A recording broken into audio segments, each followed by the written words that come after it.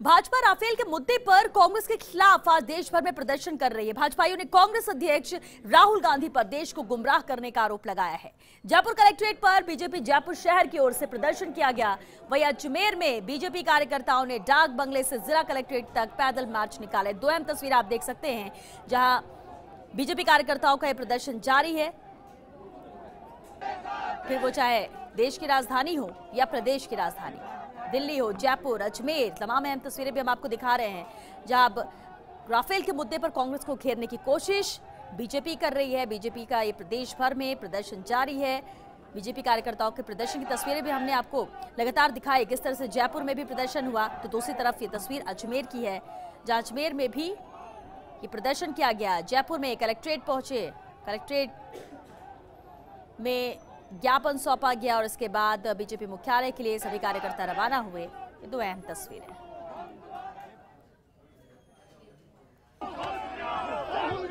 राहुल गांधी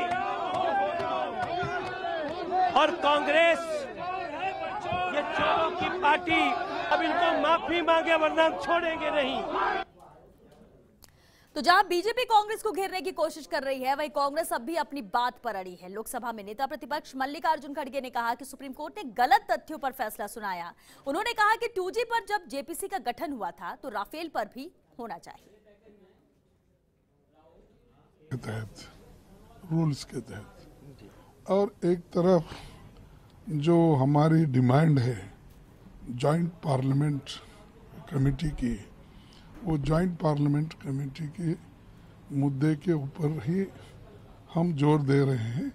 इसलिए कि वो जो जेपीसी में जो चीज़ें बाहर आएगी इन्वेस्टिगेशन होकर, या हम जो लोग ये पार्लियामेंट मेंबर्स बैठकर सारी फ़ाइल का जाँच करेंगे, तब हमको सारा पता चलेगा कौन कौन से चीज़ें कैसी कैसी हो गई और किस ढंग से एग्रीमेंट हुआ, ये सारे फ़ाइल वहाँ पर मिलेंगे। इसलिए हम जेपीसी चाहते हैं, अगर वो तत्काल जेपीसी अनाउंस करें, ये ख़त्म हो जाता है। क्योंकि आज ये कोई नया डिमांड नहीं है। पहले से चलते हुए आया कोई सी ऐसी कंट्रोवर्शियल चीज़ें हैं तो उसको जेपीसी बनाई गई है।